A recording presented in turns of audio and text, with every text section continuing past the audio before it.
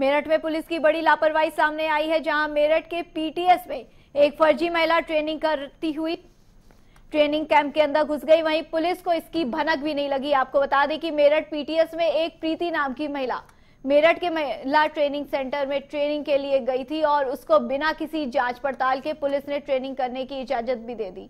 वहीं जब इस बात का खुलासा हुआ तो पुलिस ने अपनी लापरवाही छुपाने के लिए कहा कि महिला प्रवेश कर रही थी। उससे पूछताछ की गई तो उसने बताया कि वो छुट्टी पे अपने घर गई हुई थी और वापस अब आई है, जिसके चलते उसे इजाज़त दे दी गई थी। वहीं महिला बिजनौर के थाना नयटोरा क्षेत्र के शादपुरा गाँव की रहने वाली है।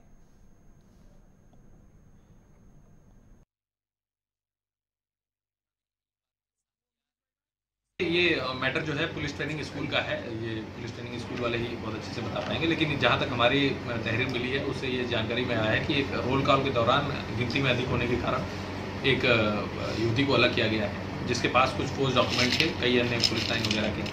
तो इसमें गंभीर धाराओं में मुकदमा लिखा गया है। इसे बहुत देर तक पूछताछ की गई है। इसका ये कहना है कि मैं घर से ऐसे ही चलती थी और मुझे लगा कि ऐसे ही हो जाता है। लेकिन अन्य कई बिंदुओं पर इससे पूछताछ की गई है, सीओ पिठौर और महिला थाना और कई जगह से इससे पूछताछ की गई साथ ही पुलिस ट्रेनिंग स्कूल और जहाँ जहाँ से इसके, इसने डॉक्यूमेंट दिखाए थे, उनकी भी जाँच की